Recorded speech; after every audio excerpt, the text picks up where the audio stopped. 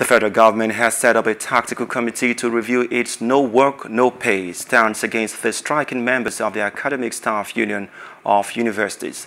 This followed a meeting by the Minister of Education Adamu Adamu with pro-chancellors, chairmen of councils, as well as vice-chancellors of universities held behind closed doors as part of efforts to resolve the seven-month-old industrial action by the lecturers of public universities.